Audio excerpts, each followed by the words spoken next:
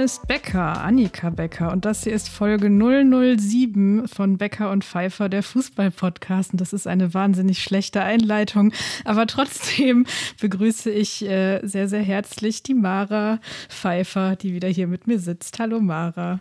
Hallo Annika und ich finde es eine fantastische äh, Einleitung, weil es wird nämlich heute, Achtung, super spannend. Ja, mal sehen, äh, wie viele Stunts und äh, Actionrollen wir hier so im Laufe des Abends äh, oder im Laufe der Folge hinlegen werden.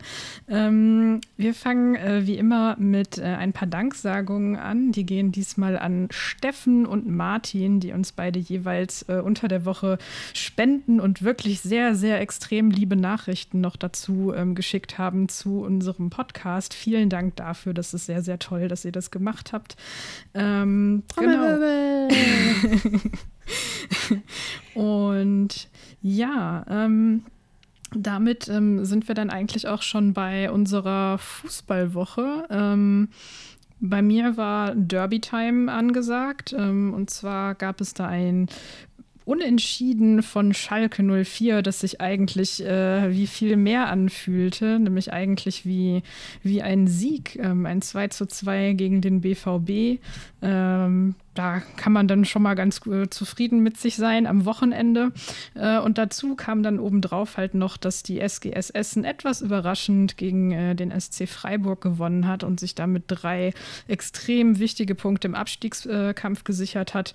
Dazu gab es noch die Ehrung von äh, Kirsten Schlotti-Schlosser für 400 äh, Spiele als Trainerin, 400 Bundesligaspiele wohl bemerkt als Trainerin auf der Bank bei der SGS. Ähm, ist so ein richtiges Urgestein, seit 87 äh, im Verein, äh, noch als Spielerin angefangen und dann irgendwann rüber gewechselt. Und ja, genau so war dann das, das Fußballwochenende für mich eigentlich ziemlich entspannt. Ähm, wir hatten da auch, also wir waren ähm, zwischendurch nicht so entspannt bei dem Essenspiel bei uns auf der Tribüne. Da ähm, war es dann doch ein bisschen spannend mit den ganzen Chancen, die die Freiburgerinnen da so hatten. Aber das Ergebnis nimmt man dann am Ende natürlich gerne mit. Ähm, Mara, wie sah es denn bei dir aus? Ja, äh, eigentlich auch weitestgehend äh, positiv. Äh, TSV Schott, die Frauen des TSV Schott äh, hatten Rückrundenauftakt und haben äh, 5 zu 1 gewonnen gegen Wörstadt. Äh, konnte ich leider nur am Ticker verfolgen, war aber vor allen Dingen in der zweiten Halbzeit äh, schon richtig spannend und ähm, ich bin wirklich sehr neugierig und freue mich darauf, das zu begleiten, wie es bei denen jetzt in der Rückrunde weitergeht ähm, und ob sich wirklich Richtung Aufstieg zweite Liga vielleicht äh, bewegt, wenn sie am Ende Erste werden und in die Relegation kommen. Und ähm, für Mainz 05 gab es ein, wie ich immer finde, emotionales Spiel, ähm, weil sie nämlich bei äh, der Hertha angetreten sind. Nicht, dass das besonders emotional wäre, aber die wird eben, wie die meisten ja sicherlich wissen, äh, von Sandro Schwarz äh, trainiert, der sehr, sehr lange äh, in Mainz war und äh, das war ein in der ersten Halbzeit über weite Strecken unansehnliches Spiel. Allerdings äh, hat Mainz die in Berlin häufiger, ich weiß nicht so genau, woran das liegt, ein richtig übles habe ich da An vor ein paar Jahren. ah ja, das ist natürlich wirklich richtig übles habe ich da vor ein paar Jahren mal äh, auch live im Stadion gesehen. Das einzig Positive daran war, dass es an Fastnacht war und ich den Zauberneffen im Panda-Kostüm dabei hatte. Das war sehr lustig. ähm, und genau, äh, dann in der zweiten zweiten Halbzeit äh, war es ein bisschen besser. Ähm, am Ende wurde es ein 1 zu 1 und wer sich da äh, ja, tiefer für interessiert, äh, dem legen wir den Rasenfunk ans Herz. Da ist nämlich ein Mainz 05 Schwerpunkt äh, diese Woche mit dem geschätzten Olli, mit dem ich auch äh, die ähm, Fußballfibel rund um Mainz 05 äh, kuratiert habe mit ganz vielen Texten. Genau, das mal als kleines äh, Shoutout. Nicht, dass der Rasenfunk irgendwelche Shoutouts bräuchte, den hätte ja sowieso alle schon, aber trotzdem. Und dann ähm, war ich am Sonntag, äh, ich habe ja hier letzte oder vorletzte Woche schon äh, gestanden von meiner äh, Co- Dependency, äh, was den HSV angeht. Äh, und äh, wir waren am Sonntag in Karlsruhe im Stadion. Das war das Weihnachtsgeschenk vom Schwiegerpapa, also von meinem Schwiegerpapa. Und ähm, es war sehr unerfreulich. Ich weiß auch nicht, warum wir uns jetzt für das eine Live-Spiel zuletzt ähm, ausgerechnet das in Karlsruhe rausgesucht haben. Ähm, doch, ich weiß es, weil man da halt Karten bekommen hat und bei den anderen, wo wir es zuletzt versucht haben, halt leider nicht. Da saßen wir in einem sogenannten gemischten Block und ich kann davon nur abraten. Es war sehr unangenehm teilweise. Naja, und das Spiel war jetzt auch nicht besonders schön, aber wir haben es immerhin wieder nach Hause geschafft, ohne verprügelt zu werden. Also unterm Strich war es dann doch ein Erfolg. ja, und äh, das ist auch schon wieder eine himmlische Überleitung, liebe Annika, weil unterm Strich äh, war auch äh, Gary Linekers äh, Wochenende dann doch erfolgreich. Äh, vielleicht möchtest du uns mal äh, in eines unserer Schwerpunktthemen für heute einführen. Ja, oder aus Sicht der BBC unterm Strich eher unangenehm. Ähm. Mit Recht haben sie sich verdient. Mit Recht, ja, mit allem Recht. Ähm, genau, ähm, Gary Lineker, ich glaube, der braucht keine besondere Vorstellung. Moderiert und kommentiert bei der BBC Fußballspiele und ähm, hatte vor einigen Tagen schon ähm, auf seinem privaten Twitter-Account die britische Regierung ähm, kritisiert und ein geplantes Einwanderungsgesetz ähm, und äh, dabei die Wortwahl, mit der dieses Gesetz ähm, eingeführt und auch so ein bisschen vorgestellt wird, ähm, verglichen mit ähm, der Sprache in Deutschland in den 30er Jahren ähm, und hat damit auch nicht unbedingt Unrecht. Ähm, also es war kein, kein platter Nazi-Keulen-Vergleich, ähm, so wie man das vielleicht anhand mancher Schlagzeilen denken könnte. Und ähm, genau, die BBC ähm, hat äh, das dann sehr kritisch gesehen und ihn im Prinzip vor die Tür gesetzt. Ähm, also er durfte dann seine Sendung nicht weiter moderieren. Ähm, Match of the Day heißt Match die. of the Day. Genau, und nicht, dass er diese Einführung bräuchte, aber bevor Gary Lineker Fußballspiele moderiert hat, hat er auch das ein oder andere selbst absolviert. Das sollten wir vielleicht noch hinterher schieben. Für die, die sich nur mit dem Fußball der Frauen beschäftigen und vielleicht denken, Gary Lineker nie gehört. Ja, gut. Wir machen das jetzt so super obvious, weißt du, so wie äh, das sonst äh, manchmal bei äh, Nationalspielerinnen, wenn Leute dann so sagen, hey, woher soll ich die kennen, wenn die Frauenfußball spielt? Jeden Fußballer, den eigentlich irgendwie alle Menschen, die jemals äh, sich mit einem Fußball auseinandergesetzt haben, kennen, den erklären wir so super umständlich. Also Gary Lineker und zwar, genau, ehemaliger Fußballer und Nationalspieler. Please continue.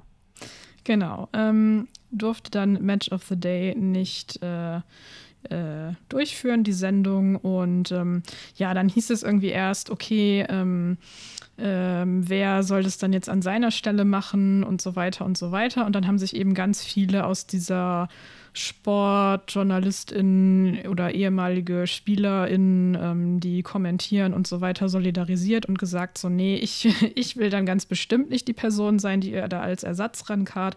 Und es wurden dann im Laufe des Wochenendes immer mehr und es führte dann dazu, dass nicht nur Match of the Day in so einer absolut äh, verhackstückten ähm, Grundfassung nur ausgestrahlt werden konnte, sondern andere Sendungen eben auch. Ähm, genau. Und jetzt heute am Montag, ähm, an dem wir aufnehmen, war dann die neue Entwicklung in der Sache, dass äh, ja bekannt gegeben wurde, dass die BBC und Lineker sich ähm, ja sozusagen wieder geeinigt haben, dass er weitermachen kann, dass er sich auch nicht für seinen Tweet, also er hat sich nie für den entschuldigt, er hat den auch nie gelöscht oder sowas, sondern hat halt darauf bestanden, den stehen zu lassen und dass er ab jetzt halt wieder die Sendung moderieren kann von Seiten der BBC aus und das hatte er auch so angenommen. Und dazu kommt halt, dass die BBC gesagt hat, sie wollen diese ähm, Regelung, die ähm, Social Media Guidelines. Genau, äh, die sie da angewandt haben, dass die halt nochmal ähm, angeschaut werden sollen und gegebenenfalls überarbeitet werden sollen. Weil man muss dazu auch noch sagen, er ist kein Festangestellter bei der BBC und erst recht halt nicht zuständig für Politik, sondern halt für Sport und hat dann sozusagen in seiner Freizeit eine politische Äußerung getätigt. So, das ist so der, der Vordergrund. Der Hintergrund ist dann, dass man natürlich, wenn man sich dann die BBC anguckt und wie die sich so in den letzten Jahren so rund um den äh, Brexit entwickelt hat, ähm, dass das Ganze natürlich auch eine medienpolitische Ebene hat, weil ähm, genau diese ganze Fernseh- und Radioanstalt halt ähm, immer weiter ja, unter Druck gesetzt wurde von den Tories, also von der konservativen Partei. Ähm, und es da halt auch einige ja, wie soll man sagen, ähm, einige Verlinkungen oder Skandale gibt, die halt so eigentlich nicht sein dürfen. Also, dass es ähm, äh, von Richard Sharp zum Beispiel ähm, Spenden gab für die Konservativen ähm, und dass auch nicht so ganz klar ist bei einem Kredit, den Boris Johnson bekommen hat. In, ähm, da hat er wohl irgendwie dabei geholfen, dass er den bekommen hat. Also, es gibt da halt so Verlinkungen und Vernetzungen, äh, die nicht sauber sind.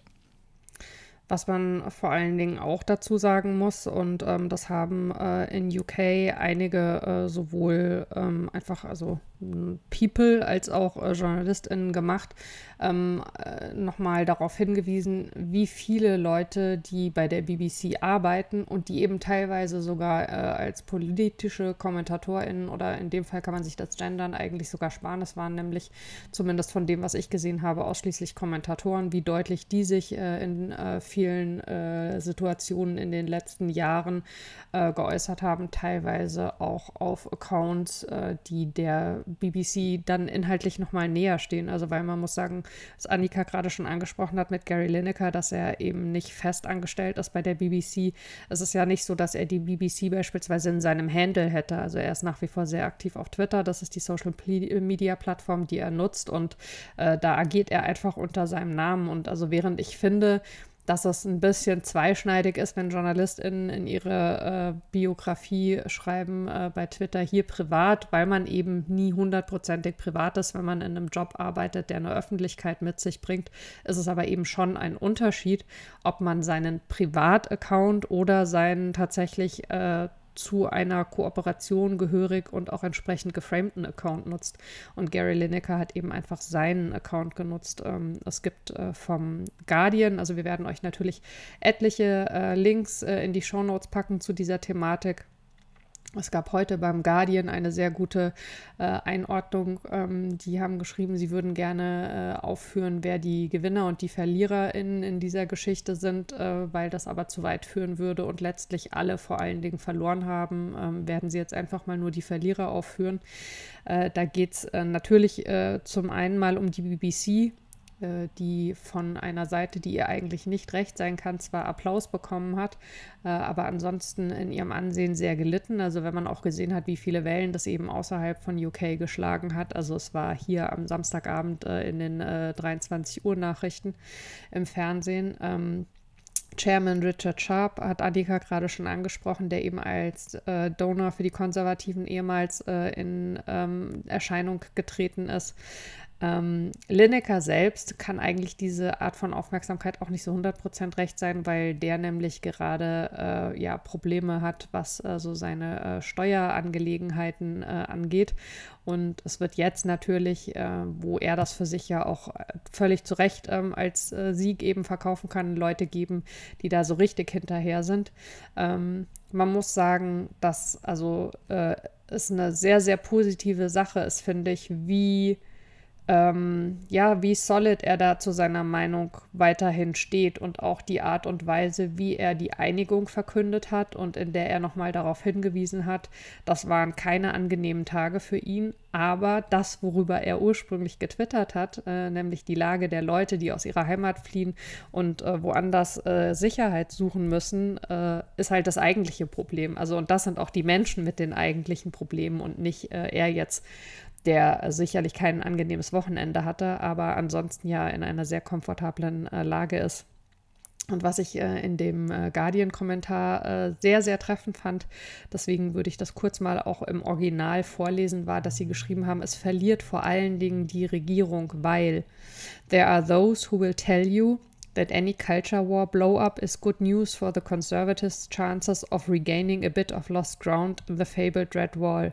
But it's not obvious that this is true if it comes at the cost of infuriating every football fan in the country and adding to the general sense that everything is a bit crap under the Tories. Und ähm, ich musste da wirklich drüber lachen, weil ähm, als Annika und ich uns ähm, ausgetauscht haben am Wochenende über das Thema und darüber, dass wir eben in der Sendung auch größer drüber sprechen wollen, war genau dieser Punkt, also dass diese Themen sind ja immer mal wieder angestoßen worden und es gab auch eben Prominente, die es immer mal wieder angestoßen worden und äh, angestoßen haben und auch diese Problematik innerhalb der BBC, also dass es da sowas wie ja schon äh, unterschiedliche Maßstäbe gibt. Also, dass man eben zuletzt gesehen hat, wenn die Leute sich eindeutig pro Tories geäußert haben, ähm, dann ist das eben durchgegangen. Also auch bei Leuten, die bei der BBC waren. Und jetzt, wo es gegen die Regierung ist, geht es plötzlich nicht durch. Also es ist schon sehr klar und was da passiert. Und das ist aber jetzt eben ausgerechnet im Falle eines Menschen aus dem Fußball so eine Dynamik bekommt, ist eigentlich ja, also wenn man sich mit Fußball beschäftigt und immer wieder versucht, Leuten zu verklickern, was für eine große re gesellschaftliche Relevanz Fußball hat und wie viele Leute man über Fußball erreichen kann, ist schon äh, ein bisschen zum Schmunzeln eigentlich, oder Annika? Ja, ähm, auf jeden Fall. Und es zeigt, äh, zeigt halt dann die große Bedeutung, die der Sport hat, beziehungsweise halt ähm, auf wie vielen Ebenen der dann äh, in die Gesellschaft ja auch wieder reinwirkt. Äh, so. Ja.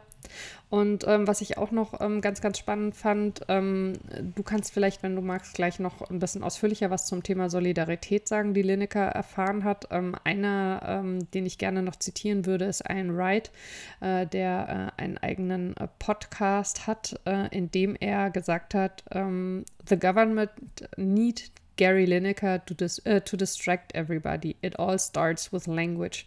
They didn't just throw, uh, they didn't just start throwing people in concentration camps, weil es ist wichtig, darauf immer wieder hinzuweisen. Wir bekommen das alle mit in der momentanen Zeit, dass es Leute gibt, die sagen, ah, da wird sich zu viel mit Sprache beschäftigt und die Leute sind zu empfindlich und bla bla bla bla bla.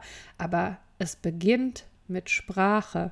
Und wenn man anfängt, verschiedene gesellschaftliche Gruppen zu entmenschlichen über Sprache, setzt es etwas in Gang, was sich nicht aufhalten lässt. Und deswegen ist es so wichtig, dass Leute aufstehen und es kritisieren, wenn diese Sprache benutzt wird. Ja, und das ist ja was, das ähm, hast du ja auch schon erwähnt, was halt gerade in Bezug auf die BBC jetzt auch schon seit längerem passiert, dass es kritisiert wird.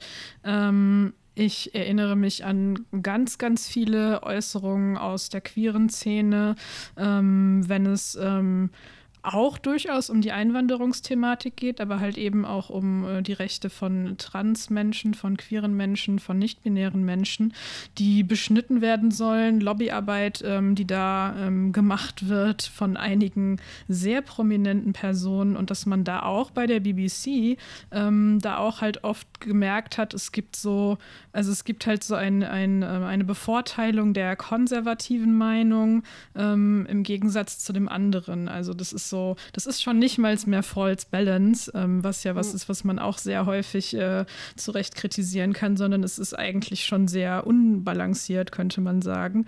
Ähm, dazu auch, also jetzt nicht äh, speziell zu queeren Themen, aber ähm, wir haben euch auch verlinkt ein Interview mit Annette Dittert, die ja ähm, Korrespondentin ist für die ARD, ähm, die halt in dem Interview auch erzählt von einer Talkshow, wo es so war, dass jemand ähm, die, die Lügen von Boris Johnson angesprochen hat, die man ja sogar nachweisen kann. Also es gibt Beweise dafür, wann und worüber er gelogen hat und dass dann die Moderation eingegriffen hat mit so, das ist jetzt aber ein bisschen groß, der Vorwurf und so. Ähm, und diese, diese Szenen ähm, oder Schriftstücke oder was auch immer, die gab es halt verhäuft. Ähm, genau. Und dann das Thema Solidarität, da hatten wir beide uns halt auch äh, drüber ausgetauscht, dass dass es halt sehr, sehr schön und sehr, sehr erfrischend ist, die erstmal so zu sehen. Ähm, an der, in der ganzen breiten Masse. Und ähm, was uns dann aber auch aufgefallen ist und ähm, vor allem dir auch als allererstes aufgefallen ist, ist, dass da halt auch ganz viele People und ähm, vor allem auch Women of Color ähm, dabei sind, die sich sofort solidarisiert haben und gesagt haben, so nee, wenn, ähm, wenn er rausfliegt, dann machen wir auch nicht weiter oder dann wollen wir halt irgendwie nicht die Ersatzperson sein, sondern wir wollen uns ähm, ganz, ganz unbedingt solidarisieren. Ähm, was dann aber so ähm, im Umkehrschluss dann den Gedanken angeregt hat bei uns beiden von, das ist sehr, sehr schön. Wir hoffen, ähm, Gary Lineker weiß damit verantwortungsvoll umzugehen, wenn er irgendwann mal in der umgekehrten Position ist, dass er derjenige sein sollte, der vielleicht auf irgendwas verzichtet,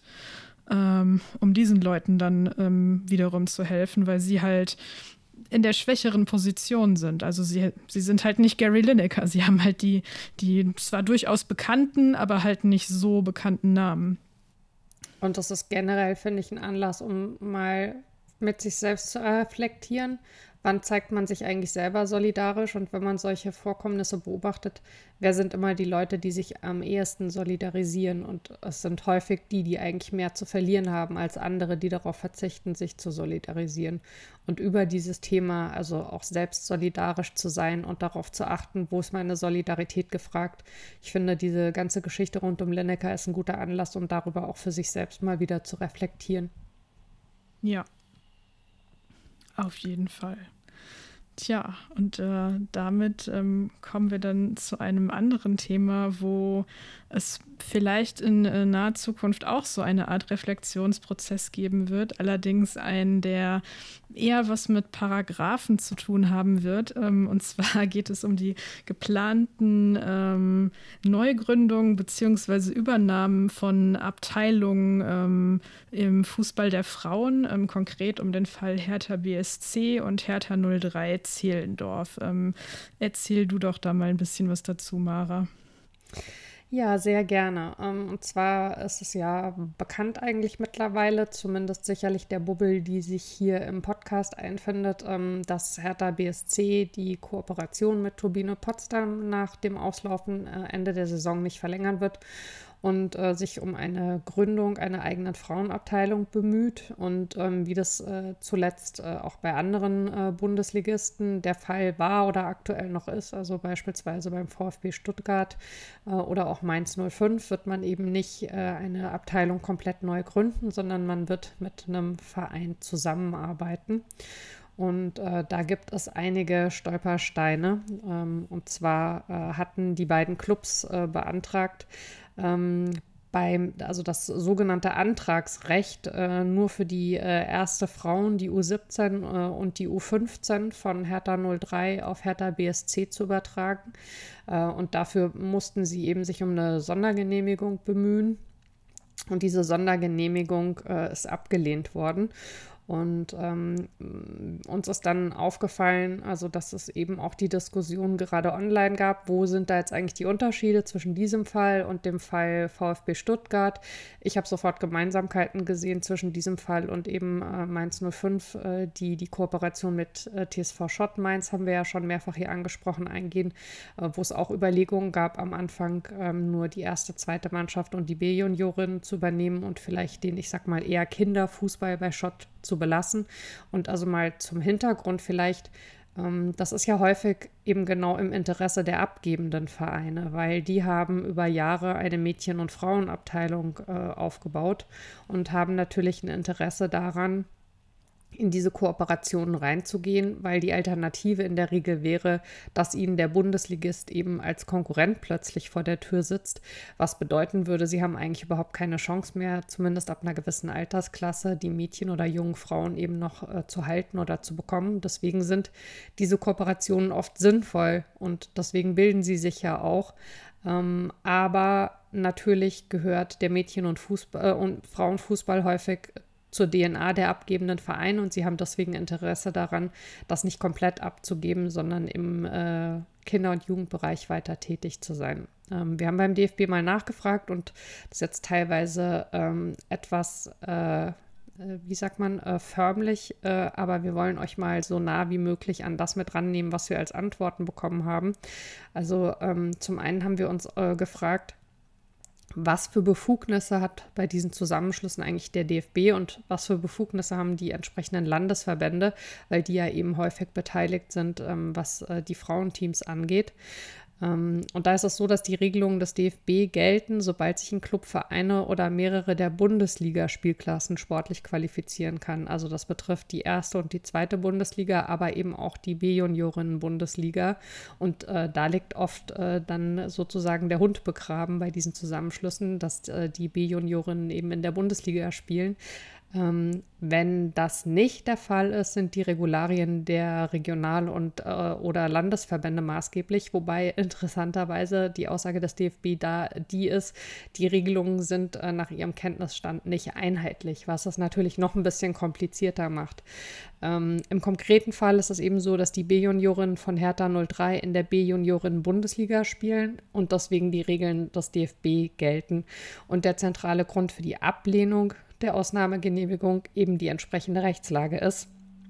Die Regelung sieht vor, dass der Spielbetrieb aller Frauen- und Mädchenmannschaften des abgebenden Vereins, das ist in diesem Fall Hertha 03, nach Bestimmungen des zuständigen Mitgliedsverbandes auf den aufnehmenden Verein, also Hertha BSC, übertragen wird. Und die Begründung, warum eine Ausnahmegenehmigung nicht erteilt werden konnte, ist die, dass es natürlich zuletzt immer wieder Vereine gegeben hat, die sich darum bemüht haben. Und wenn man jetzt anfangen würde zu sagen, äh, wir ändern das quasi im laufenden äh, Verfahren oder auch in der laufenden Saison und während ja ähnliche Kooperationen auch gerade noch an anderen Standorten angestrengt wurden äh, und werden, dann benachteiligt man natürlich äh, Vereine oder man ruft Vereine auf den Plan, die sagen, wir sind durch diesen Prozess relativ frisch durch und werden jetzt nachträglich eben benachteiligt. Ähm, das, was noch ganz spannend ist zu wissen, finde ich, ist, dass äh, die Frage nach der Mindestanzahl von Teams, also wenn sich ein Team für die erste oder zweite Bundesliga bewirbt äh, mit dieser Übernahme, muss der Club noch mindestens eine, äh, eine weitere Frauenmannschaft im Elferbetrieb, mindestens zwei Mädchenmannschaften und davon mindestens eine B-Juniorenmannschaft im Spielbetrieb haben.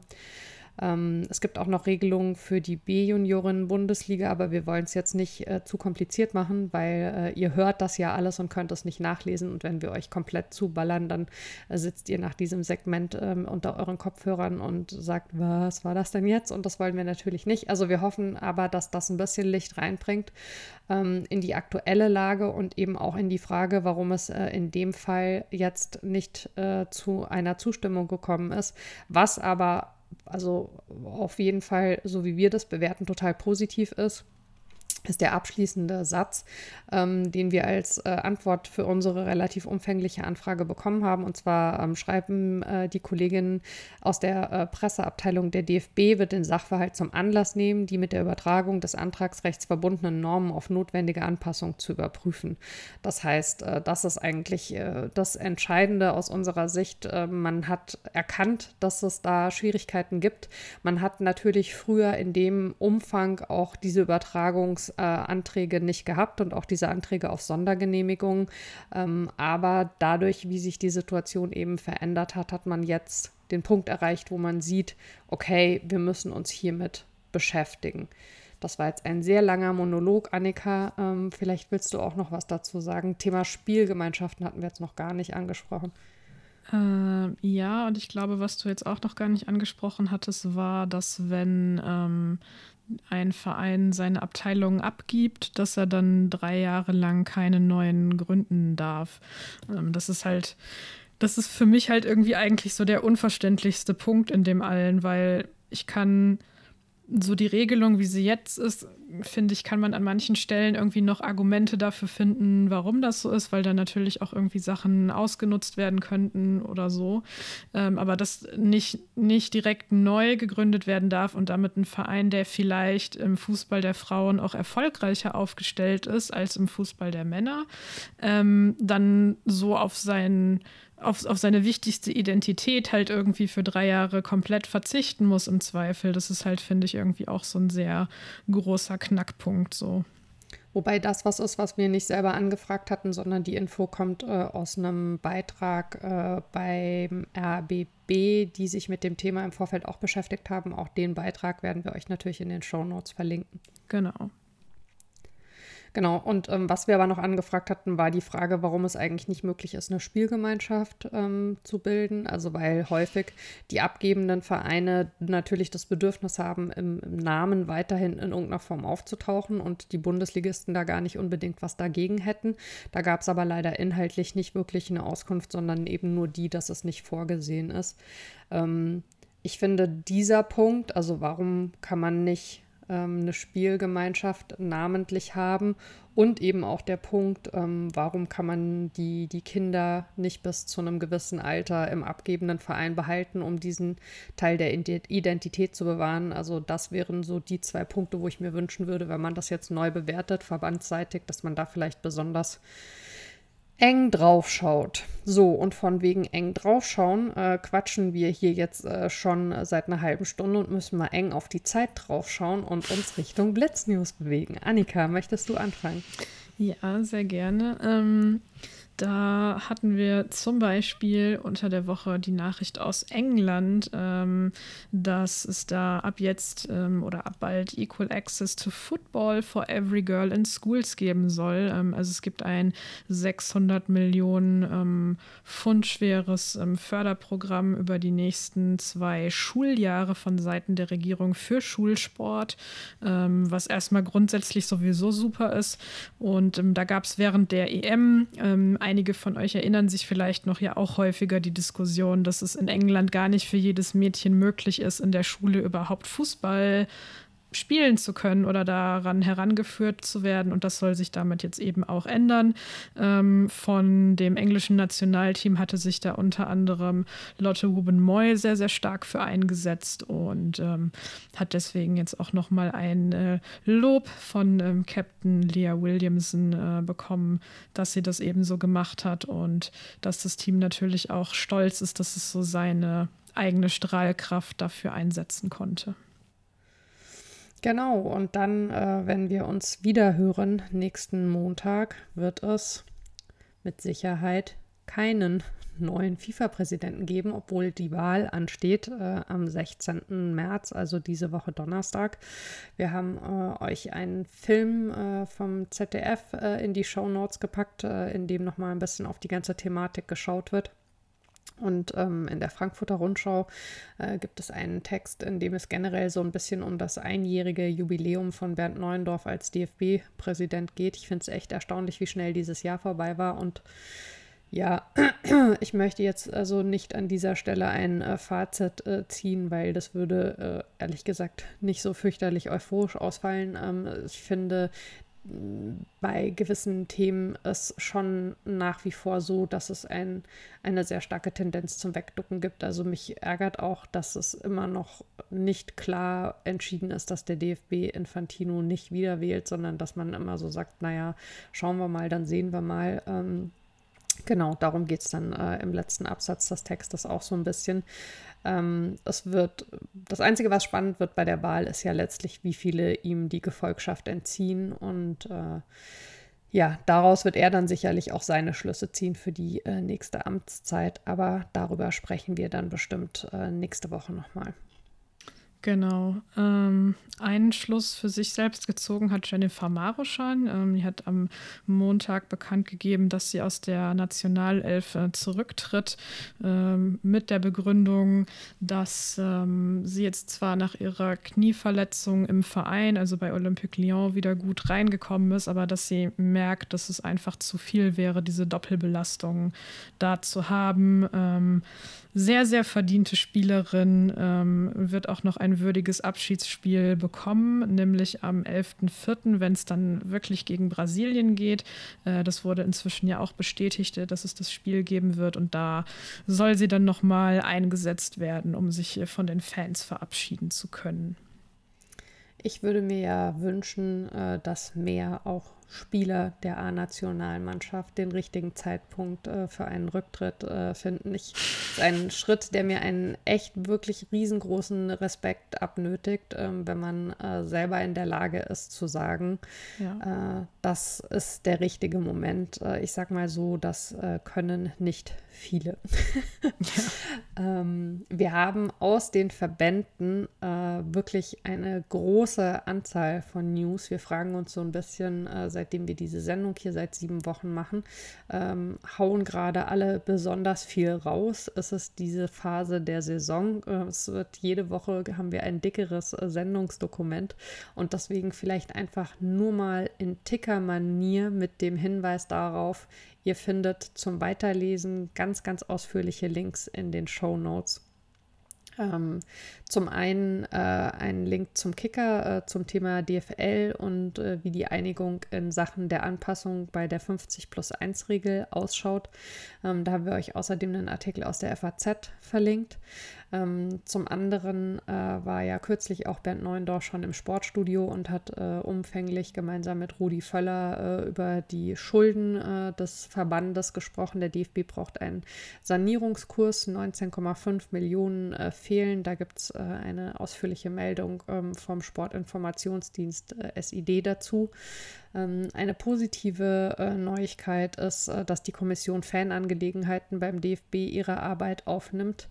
Ähm, ich habe äh, lustigerweise vor dieser Sendung das aktuelle ähm, Sportgespräch im Deutschlandfunk gehört wo ich jetzt natürlich gerade die Namen nicht alle zusammenbekomme, aber Michael Gabriel von der Koordinationsstelle für Fanprojekte war da im Gespräch mit ähm, einem äh, Polizeiverantwortlichen aus Baden-Württemberg und einer Kollegin aus dem Dachverband der Fananwältinnen und Anwälte.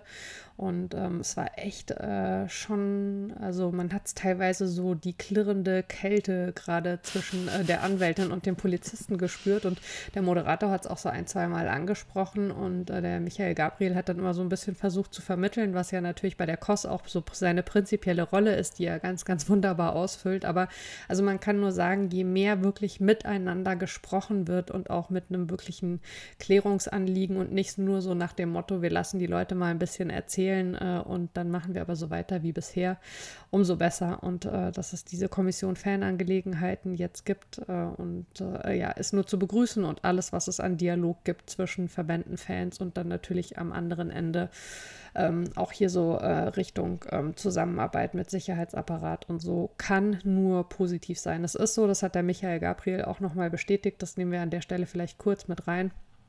Wenn ich sage, ich tickere, dann tickere ich am Ende ja doch wieder nicht. ähm, also es ist so, dass man äh, seit äh, der Wiedereröffnung der Stadien nach Corona ähm, festgestellt hat, dass es eben äh, an, der einen, an dem einen oder anderen äh, Standort ähm, eine Zunahme von Gewaltbereitschaft gibt. Es ist aber immer noch so, äh, dass das eine verschwindend geringe Menge ist und dass Fußballstadien für Großveranstaltungen unglaublich sichere Orte sind. Also auch der Kollege von der Polizei Polizei hat gesagt, es gibt äh, nach wie vor im Durchschnitt einen Verletzten pro Spiel ähm, oder pro Spieltag. Das kann ich jetzt nicht mit hundertprozentiger Sicherheit sagen. Ähm, aber es sind jedenfalls äh, für Großveranstaltungen sehr, sehr, sehr geringe Zahlen. Und wenn man dann aber halt sieht, was äh, auch seit Corona teilweise von der Polizei eben aufgefahren wird, ähm, dann ist das ein Thema, auf das man weiter draufschauen und mit dem man sich weiter auseinandersetzen muss. Wir haben das hier zuletzt schon das eine oder andere Mal gehabt. Annika, übernimm doch mal, bevor ich mir einen Knoten in die Zunge geredet habe. Dann versuche ich jetzt mal das mit dem Ticker durchzuhalten. Ähm, wir haben nämlich einerseits die Halbfinals im DFB-Pokal der Frauen, die terminiert wurden. Ähm, das äh, Spitzenspiel gibt es auch live im ZDF. Dann wurde, was äh, für mich immer ein sehr, sehr spannender Tag im Jahr ist, der Rahmenterminkalender verabschiedet. Äh, ich habe das, äh, soweit es geht, alles schon in meinen Kalender eingetragen. Ähm, sehr, sehr spannend, dass der letzte Spieltag der Bundesliga der Frauen komplett an, ähm, was war es, Pfingstmontag ausgetragen wird. Also ja, ist ein Feiertag, aber Montagsspiele und dann gleich so viele Montagsspiele. Ich, äh, ich möchte da bitte nochmal die äh, Fahne mit dem Fragezeichen in die Luft halten. Ähm, genau. Dann wurde ähm, ähm, bei den äh, Ausschussvorsitzenden der Frauenbundesligisten ähm, Tobias Trittel ähm, bestätigt, äh, der jetzt auf Sigi Dietrich folgt. Das ähm, war ja schon ein bisschen länger anmoderiert und ist jetzt dann damit offiziell.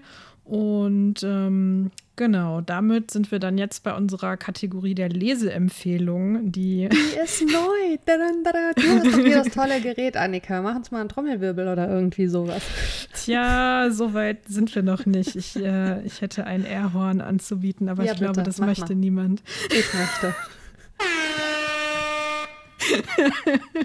ja, tut mir leid, falls Und jetzt, euch die, die Ohren ähm, Ich fange mal an. Ähm, Unsere sehr geschätzte Kollegin Helene äh, Altgeld hat den Text geschrieben, Elf Freundinnen mit Wut im Bauch äh, für das IPG-Journal und ähm, hat sich damit nochmal mit den jüngsten Revolten im Fußball der Frauen in den verschiedenen Nationalverbänden auseinandergesetzt. Sehr, sehr lesenswert. Schaut es euch gerne an. Ähm, genau. Ebenfalls sehr, sehr lesenswert äh, ist ein Text äh, bei äh, der Taz. Und zwar ähm, ist ein Zitat daraus, dass hinter dieser parlamentarischen Initiative, die zwar absurde mittlerweile, aber DFB-offizielle Haltung steckt, dieser Homokram sei verantwortlich für das frühe Ausscheiden der deutschen Mannschaft bei der WM, darf man mit guten Gründen vermuten. Da fällt einem jetzt vielleicht erstmal ganz kurz die Kinnlade runter, aber es geht eben tatsächlich um eine Anfrage, die äh, genau das nahelegt. Und das ist sehr lesenswert, sich damit zu beschäftigen, wie an dieser Stelle Fußball instrumentalisiert wird. Deswegen legen wir euch das äh, in die Show Notes. Genau, dann gibt es bei Übermedien noch einen Text, der sich damit beschäftigt, dass die problematische Sicht auf Fans ein andauerndes Problem ist, vor allem mit den Konsequenzen, die dann aus dieser problematischen Sicht ähm, auch wieder herausgezogen werden. Und äh, da kann man vielleicht kurz für den Hintergrund noch sagen, äh, dass äh, es vorher einen Text in der SZ gab, der sich mit dem Fanausschluss äh, der Frankfurt-Fans äh, jetzt in Italien beschäftigt und der das so mehr oder weniger ja, also so ein bisschen war die Aussage, da muss man sich ja auch nicht wundern, weil Fans sind halt alle gewalttätige Vollhonks und was soll die arme Polizei anderes machen, schließt so ein bisschen an das an, ähm, worüber wir gerade gesprochen haben. Und André Resin hat äh, dazu eine sehr gute Replik bei Übermedien geschrieben. Genau. Ähm, dann machen wir weiter mit einem Text von The Athletic ähm, wo es darum geht, dass die UEFA vielleicht dazu genötigt werden wird, ihre Homegrown-Player-Regelung verschärfen zu müssen, ähm, um die an das äh, EU-Recht anzupassen. Da das wird im Moment geprüft, ähm, ob das nötig ist oder nicht.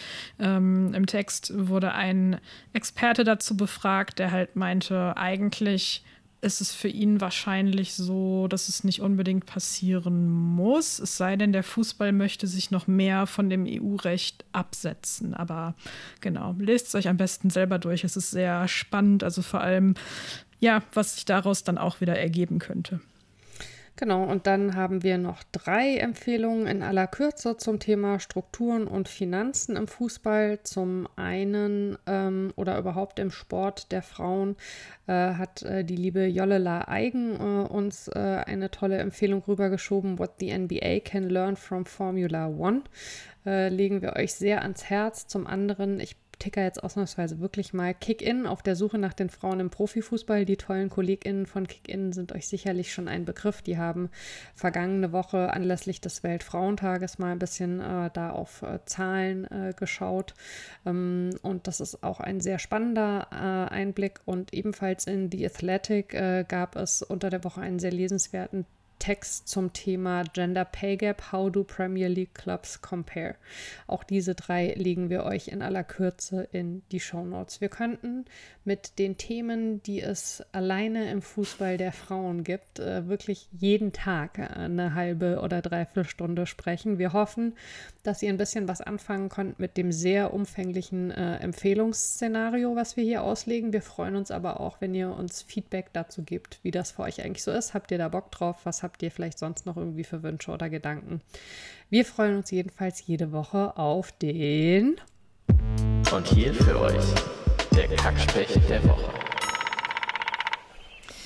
Ja, der Kacksprech der Woche, er fliegt wieder diese Woche in Richtung der Verbände, die zuständig sind für das Nationalteam der blinden und sehbehinderten Frauen im Fußball ähm, und das Nationalteam, das es da gibt. Das wäre nämlich eigentlich äh, qualifiziert dafür oder ist qualifiziert dafür, bei der ähm, WM teilzunehmen. Ähm, Im August 2023 findet nämlich in Birmingham erstmals eine Blindenfußball-Weltmeisterschaft statt, bei der auch das äh, Frauennationalteam teilnehmen kann. Ähm, allerdings ähm, gibt es dafür eben keine offizielle Unterstützung durch die Verbände oder von anderer offizieller Seite ähm, mit der Begründung, dass ähm, der Fußball der Frauen, ähm, der blinden und sehbehinderten Menschen eben nicht ähm, als paralympische Sportart anerkannt ist und demnach dann nicht als unterstützenswert angesehen wird. Deswegen sammelt das Team gerade Spenden ähm, über Toyota. Und ihr dürft mal raten, wie das mit dem Nationalteam der Männer ist. Na? Genau. Das ähm, ist nämlich als ähm, also paralympisches Sportteam anerkannt und hat dementsprechend äh, Fördergelder und nicht die gleichen Probleme. Wie es halt so ist. Deswegen ist das unser Kackspecht und deswegen äh, haben wir am Ende dieser Sendung sozusagen äh, einen dreifachen Anschlag auf eure Geldbeutel vor. Äh, ich drösel das mal kurz auf. Zum einen äh, finden wir es sehr, sehr unterstützenswert, äh, diesem Team Gelder zukommen zu lassen. Annika hat es gerade schon gesagt, die sammeln. Auch hier findet ihr Infos in den Show Notes, wo ihr wiederum das Team und die Möglichkeit zu spenden finden könnt. Zum anderen wisst ihr ja bereits schon, dass der Rasenfunk Annika nach Australien schickt. Dafür braucht der Rasenfunk natürlich finanzielle Unterstützung, weil das ein bisschen über das Sendungshonorar hinausgeht, was da an Geld zusammenkommen muss. Äh, weil Annika wollte auch nicht schwimmen. Die stellt sich da so ein bisschen an. Ich bin ja eine große Schwimmerin, aber gut, Annika möchte aber die Haie. mit dem Flugzeug nach Australien. Deswegen äh, findet ihr auf www.rasenfunk.de alle Infos darüber, wie ihr äh, Annikas äh, Australienreise unterstützen könnt, die ja dann am Ende des Tages auch uns hier zugutekommt, äh, weil wir natürlich auch während äh, Annika die WM begleitet sprechen werden. Mal gucken, ob wir es auch wöchentlich schaffen aber so prinzipiell haben wir es vor. Und natürlich, wenn ihr Lust habt und sagt, Mensch, das hat mir jetzt wieder Spaß gemacht, die Dreiviertelstunde, dann äh, könnt ihr uns auch äh, einen Kaffee spenden. Die Infos dafür findet ihr auf unserer Homepage. Und äh, die Kaffees, die ihr uns momentan spendet, darf Annika dann auch alle in Australien trinken. Und das war es auch schon wieder für heute. Wir äh, bedanken uns fürs Zuhören, hoffen, äh, ihr hattet ein bisschen Spaß und habt ein bisschen was gelernt. Äh, wir haben immer Spaß und lernen in der Vorbereitung jede Menge. Vor allen Dingen haben wir auch mal wieder gesehen, äh, wie viele coole Journalistinnen und Journalisten äh, im Sport, im Fußball, im Fußball der Frauen unterwegs sind und äh, da sehr spannende Arbeit machen. deswegen platzt unsere Linkliste wieder aus allen Nähten und danke auch an die Kollegen HörerInnen und natürlich an äh, meine Lieblingskollegin äh, Annika, die mir hier zugeschaltet ist und ich ihr. Äh, wir hören uns hoffentlich nächste Woche wieder. Bis dann. Tschüssi.